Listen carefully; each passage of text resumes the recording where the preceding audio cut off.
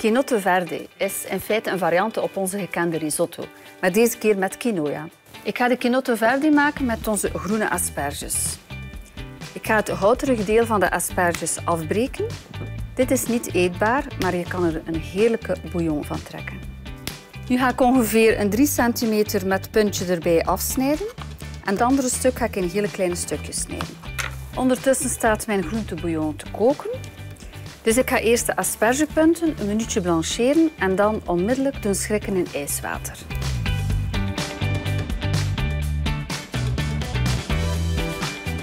Nu ook de andere aspergestukjes blancheren, ongeveer 5 minuutjes.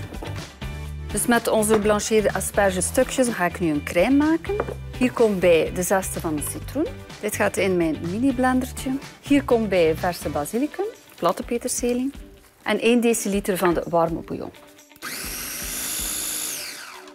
Ik ga nu de prei en de look aanstoven in een heel klein beetje olie. Het is niet de bedoeling dat we dit gaan aankleuren, maar gewoon zachtjes stoven. Ik ga nu de quinoa toevoegen. De quinoa ook goed meebakken. Een beetje droog bakken. Ik ga nu blussen met witte wijn. Heel belangrijk, de alcohol laten verdampen.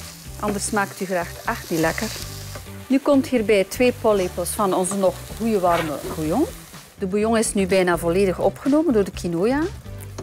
En ik herhaal dat tot de quinoa haar is. Dit is ongeveer een vijftigtal minuutjes. Die quinoa is haar. Dus ook alle bouillon is weg. Voeg hierbij 1 eetlepel boter, ongeveer 50 gram gemalen parmezaanse kaas.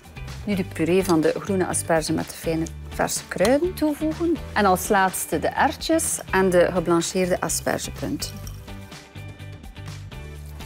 Klaar om te serveren.